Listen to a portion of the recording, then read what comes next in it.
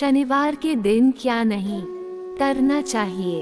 एक, शनिवार के दिन लड़की को ससुराल नहीं भेजना चाहिए। दो, शनिवार के दिन भूलकर भी काली उड़द की दाल नहीं खरीदनी चाहिए, इससे खाने से शनिदेव क्रोधित हो जाते हैं। तीन, शनिवार के दिन बाल कटवाना या नाखून काटना नहीं चाहिए, ऐसा करने से शनिदेव नाराज़ हो सकते हैं।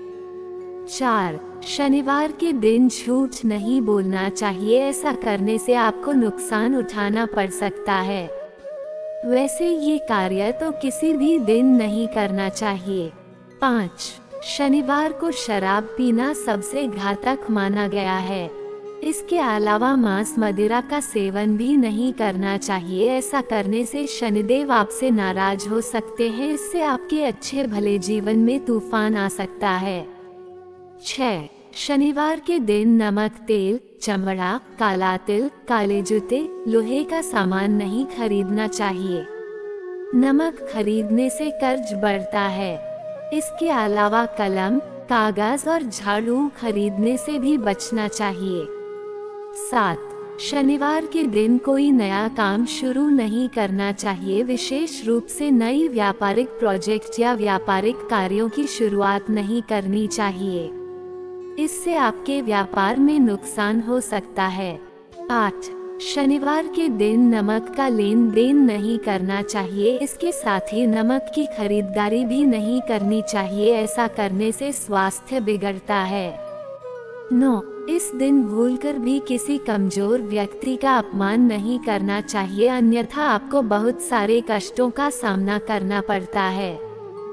दस शनिवार के दिन भूलकर भी मसूर की दाल नहीं खानी चाहिए। इससे खाने से शनिदेव क्रोधित हो जाते हैं। शनिवार के दिन क्या क्या करना चाहिए? एक, शनिवार के दिन भोजन में तेल का त्याग कर देना चाहिए। दो, शनिवार को पीपल के पेड़ में शाम को जल चढ़ाएँ और तिल के तेल का दीपक जलाएँ। ऐसा कम से कम 11 शनिवार करें। तीन शनिवार के दिन कौवे को रोटी खिलाए या फिर उसे जो पसंद वो खिलाए। चार, गरीब, अंधे, अपंगों, सेवकों और सफ़ाई कर्मियों से अच्छा व्यवहार रखें और उन्हें किसी भी प्रकार का दान दें। हो सके तो जूता दान करें। पाँच, शनिवार के दिन शाम को अपने घर में गोबुल का धूप जलाएँ, इससे घर में खुशहाली आएगी। छह शनिवार के दिन तेल से बने पदार्थ भिखारी को खिलाने से शनि देव प्रसन्न होते हैं। कहानी नेटवर्क वॉइस वीडियो अच्छा लगे तो एक लाइक करें, चैनल पर नए हैं।